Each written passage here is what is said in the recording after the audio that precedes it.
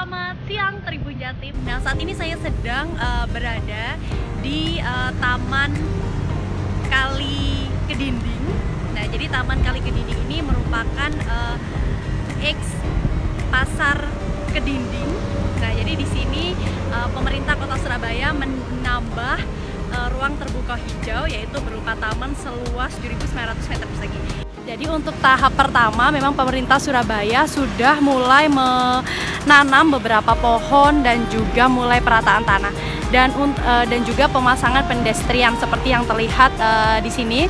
Nah, untuk tahap kedua nanti akan ada pemasangan lampu-lampu uh, taman dan juga pe bangunan uh, kid zone atau area bermain anak. Nah, untuk melihat secara langsung, nah ini kita sudah melintasi pedestrian. Jadi ini merupakan salah satu taman di uh, da, yang bisa menjadi referensi jika para uh, masyarakat Surabaya uh, melewati dari arah uh, Suramadu yang akan menuju ke kota Surabaya. Nah, nanti bisa melihat uh, taman taman Kali Kedinding yang uh, luasnya sekitar uh, 7.900 meter persegi.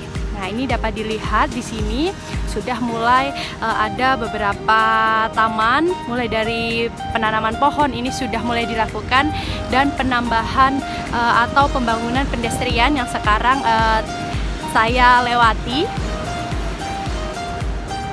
Nah, ini sudah mulai uh, sudah memasuki tahap uh, kedua pembangunannya. Untuk selanjutnya tahap kedua ini meliputi uh, pemasangan lampu-lampu taman dan juga areal bermain anak. Nah, ini tepat berada di uh, pinggir jalan. Nah, untuk sementara juga uh, dari pemerintah Kota Surabaya juga nanti akan menargetkan uh, pembangunan areal parkir bagi yang akan berkunjung ke taman ini karena memang untuk sementara di bagi pengunjung yang akan uh, berkunjung ke taman X kali ke, uh, ke taman kali kedinding ini Nah, sementara masih bisa parkirnya di pinggir-pinggir jalan. Nah, masih belum adanya lahan parkir yang disediakan karena ini masih tahap uh, pembangunan.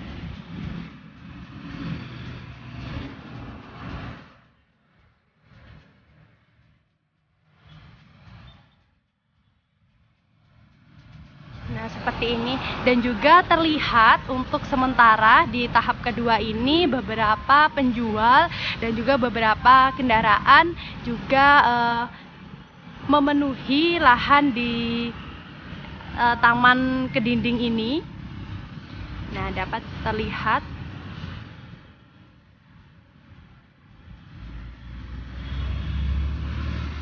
Nah, pemerintah Kota Surabaya memang menambah ruang terbuka hijau uh, satu ini yaitu X Taman uh, yaitu yang merupakan X uh, Pasar Kedinding. Nah, beginilah uh, pantauan perkembangan Tribun Jatim pada saat ini di Taman Kali Kedinding. Nah, untuk sementara memang terlihat masih belum ada pengunjung uh, yang mengunjungi karena di sini masih terlihat uh, hanya terpasang pedestrian dan juga uh, pohon-pohon. Dan masih belum sepenuhnya uh, belum sepenuhnya bisa menjadi tempat untuk berteduh bagi masyarakat Surabaya yang akan mengunjungi ke Taman uh, Kali Kedinding ini.